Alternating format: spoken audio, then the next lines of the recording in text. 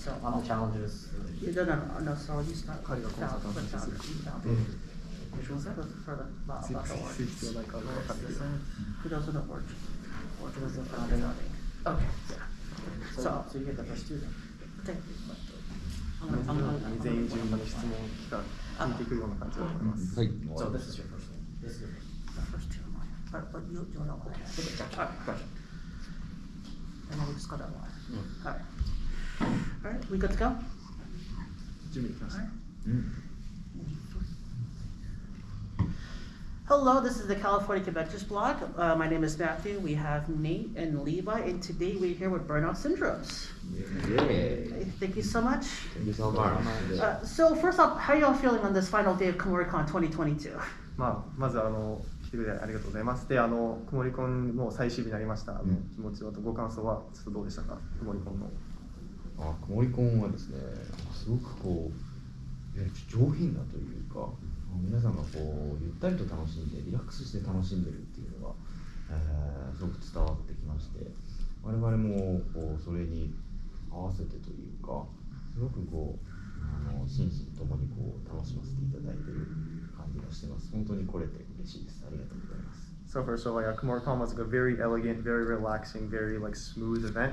Uh, everyone I could tell was like really like chill and just having fun and really chill. And uh, because of that, I think it really helped us relax and it helped us have like a really smooth transition here, and it was a lot of fun.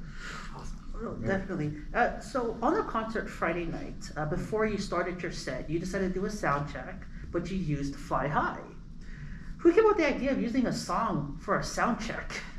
あの金曜日のコンサートの最初に出てきた時にあのサウンドチェックしてる時にフライハイをやったっていうのがあったんですけど やっぱりなぜサウンドチェックにそうなんかさあの曲を流そうと思ったんですか？あーまあ、実際サウンドチェックっていうのはサウンドチェックというか結構リハが割と大変いろいろトラブルがあって4時間ぐらいかかってたんですよねリハーサル自体に。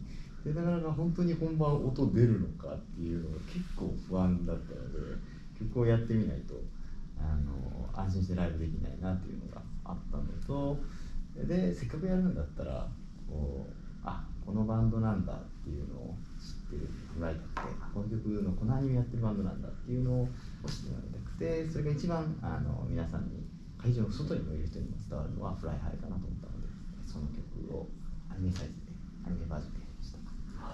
So uh, first of all, yeah. So when we were doing uh, the uh, sound check and the rehearsal, there was a lot of technical issues. So we didn't really get like a, our chance to like really fully get ready and feel prepared. So that's why when we first went up on stage, we really just wanted to like just try performing a song just to like make sure that everything was working okay. Um, but other, we were just a little bit worried. Other than that, but other than that, uh, we um, if we're gonna do a sound check, if we're gonna play a song, we really wanted to play a song that like everybody would recognize us for. So for even the people that may not have known of who we were, they might recognize our song. So which is why we chose Fly High to do our sound check. Makes sense. Uh, Speaking of Fly High, there are so many songs that your fans love and adore. What are some of the challenges creating a set list when you have to include all of these songs and then also include songs that people may not know uh, or songs that you that you want to definitely like showcase? やっぱりあのこうまあフライハイがまあやっぱすごく人気の曲だったり、やっぱりこうアニメの曲だっていろいろ人気の曲あるんですけど、やっぱりそうセットリストってやっぱりそう作るの結構難しいと思うんですけど、やっぱりこうセットリストとか作って考えたりとかするときにやっぱりどういうふうにセットリストが作っていくんでしょうかね。うーん。まあそうですね。アニメのコンベンションということで、えー、とくもりこんの皆さんアニメが大好きな人たちだと思うんですよね。ですのでできるだけこう私たちが歌ったアニメの曲っていうのをいっぱい聴いてもらいたいなと思いつつもえっ、となんだろう本来こうライブじゃないと、えーなんだろう聴けないようなアニメの曲じゃないアルバム曲であったりっていうのも何曲か聴いてもらってあバーンシンドローズってのはこういう別のサウンドもやるんだっていうのを聞いてもらいたいなっていうのをこう両立できるようなどっちも楽しんでいただけるようなセットリストに So uh, we came to an anime convention. So obviously, every all of our fans here are going to be liking anime. So we really wanted to focus, uh, first of all, on our anime songs to make sure that the people coming to see us get to hear the songs that they know and love. Uh, but other than that, uh, when we were deciding on our other songs, we really wanted to uh, show a different side of us that uh, many of our fans probably don't know. So like playing songs uh, like that you guys might not recognize, sort of like but more like Japanese styles or like pop styles. Yeah, I Um, recognize that. Yeah. Yeah. So uh, we really wanted to focus on that, maybe have like a mix of it, so you guys can see different sides of us, and then get like a more well-rounded experience of like what we are about. I see. Nice, nice. Okay, so uh, for those who don't know the re- origin story of your founding of the band, can you explain to us how you all got together in junior high school? あのあやっぱこのバンドの結成のあの話とかし少ししていただけますか。うん我々が13歳の時に、 えーとベースの石川君がバンドをやりたくて、えーまあ、この私と熊谷と広瀬を、えー誘って、えーできたという感じになりますね、えー最初はこうなんだろう3人で活動してたんですけれど当時あんまり日本の、えーアーティストって3人のバンドってあんまりいなくて結構こう始めたての、えー、とバンドでこうきなバンドの曲をカバーして楽しむんですけれど3人でカバーできる曲ってのあんまりなかったので、えーなので結構早い段階からオリジナル曲を作り始めていましてそれがなんか今の独特なあの感じというか独特な曲調につながっているのかなと思っていて、えー13歳から組んでたバンドが、30になるんですけれど17年経って 界中でこうコンサートできてるっていうのはすごい奇跡のようなことだなと思ってます。 So uh, we started our band when we were 13 years old. When our bassist uh, inv- uh, just wanted to start a band, so he invited both Kumagai and Hirose to start a band. Uh, it was having a three-person band at that time was sort of unheard of. It was really not many bands out there that did it. So when we first started our band, we really just wanted to do like musical covers of like our artists we like. But we quickly realized that there's not many bands out there that we could cover because the three-man bands are like really, really rare at the time. So we quickly, because of that, went to like writing our own music for it, and that like like starting from when we were only 13 years old, 17 years from now, we're like well, now 30 years old. We're like completely like shocked and that we're like could not be happier or like not be more like uh, thankful that we got to where we are now, like touring the world Wow. and playing our music worldwide. Oh, great. Awesome. Here. Thank you. Um, so as a little bit of a follow up, um, you guys are a three piece. Um, has there ever been thoughts of uh, ever expanding into maybe a fourth member? あのやっぱりこのずっともう17年間やっぱりあの3人やってきたんですけどやっぱりこの先4人目とかもっとあのメンバーを増やしたい増やしたいっていうなんか予定とか気持ちとかありますこの先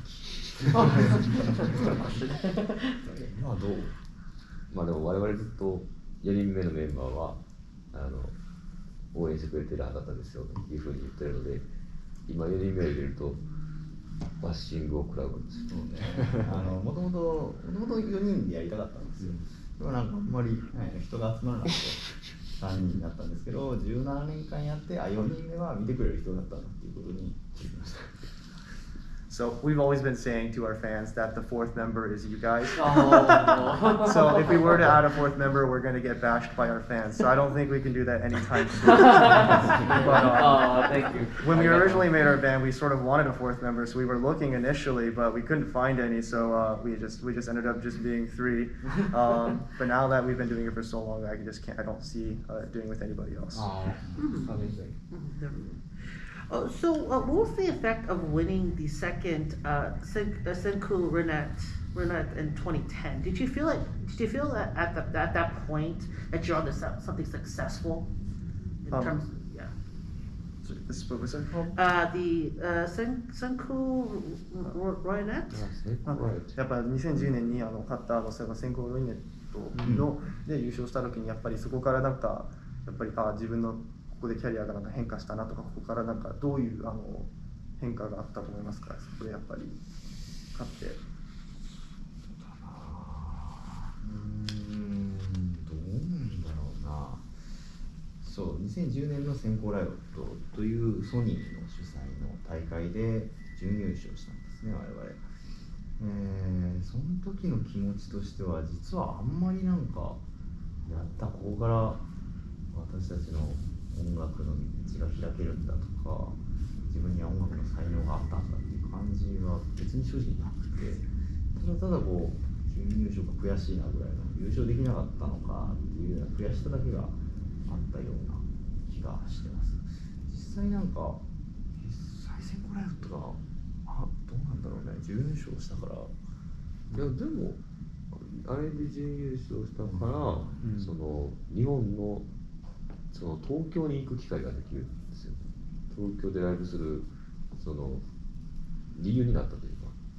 東京にもその応援してくれる人がついたのでそこで東京に行ったたことからなんかその大会でファンになって人くれた人もたくさんいて、えーそれゆえにこういろんな日本で日本中で活動できるようになったというかそういう意味ではこうなんだろう大きく変わったわけではないですけれどなんか少し変わったというか、大阪のバンドだった、日本の地方都市のバンドだった我々がちょっとこう全国でもあの名前が知れたようになりそれがまたアニメにアニメのオープニングに採用されて本当に日本中で知られるようになりそしてさらにあのアニメが 世界中で愛されるようになって世界中でライブできるようになったってこうちっちゃな積み重ねの一つなのかなというふうに思って So for the competition, we ended up getting second place.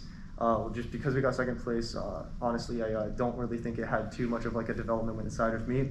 Uh, just because I think the feeling just like of like uh, sadness and like or, like frustration was probably greater for me. The fact that we didn't win, but uh, obviously being able to play so well in the competition gave us the opportunity to go to Tokyo, which sort of uh, allowed us to sort of like uh, get our music more spread out and like more well known within Tokyo and not just Osaka as where we started.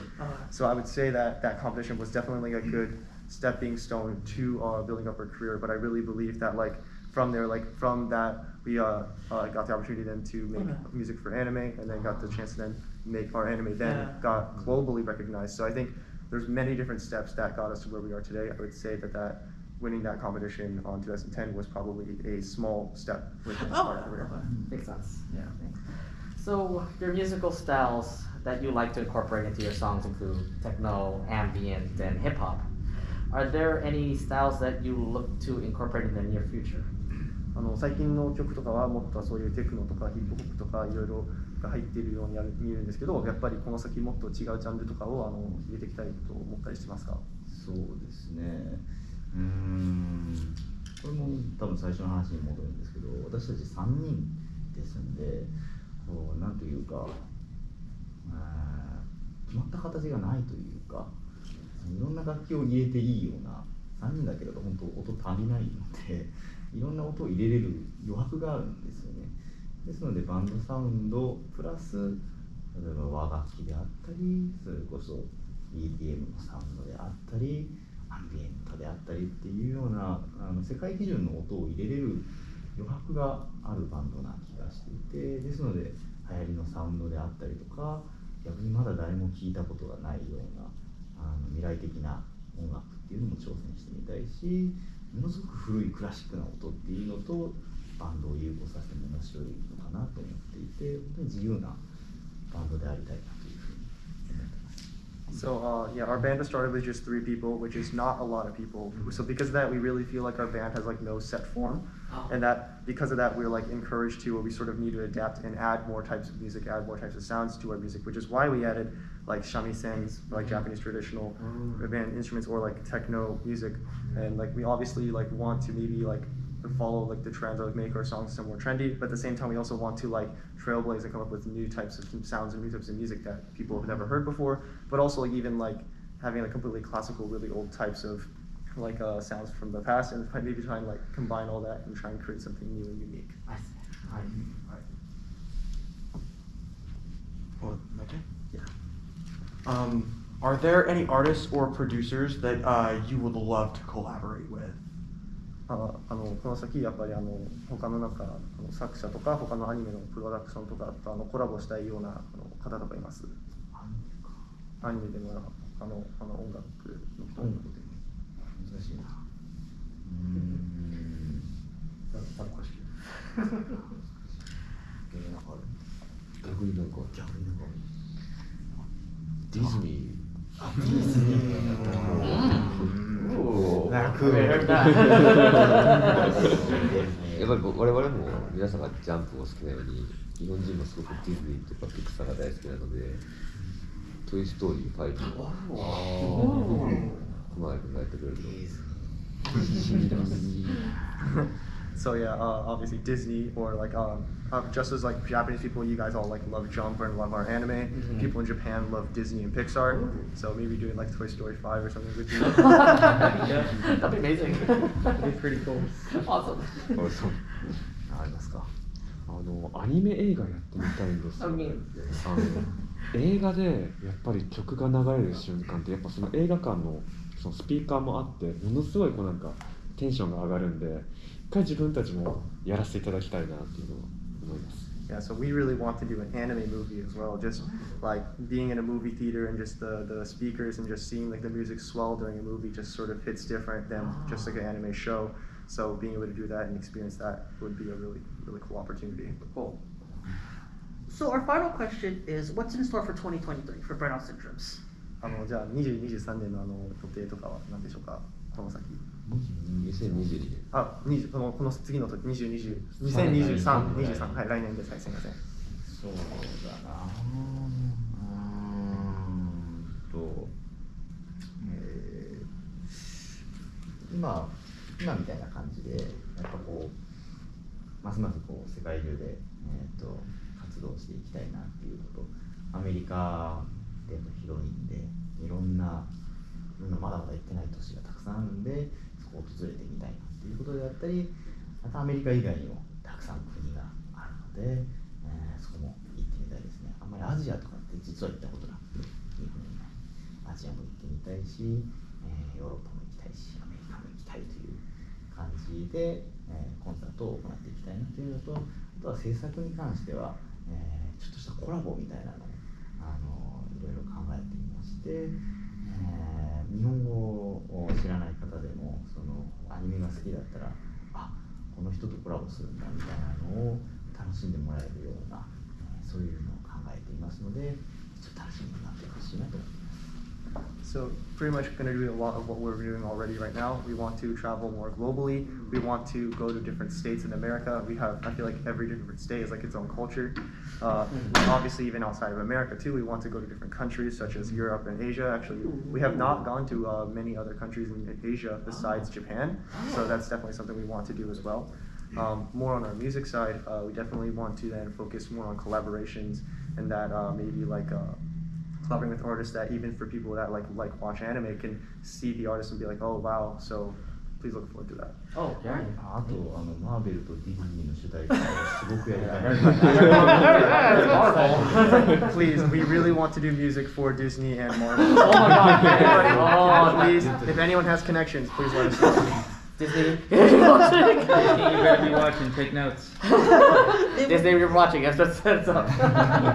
And with that, that's all the time we have. Thank you very much. Ar- Arigatou gozaimasu.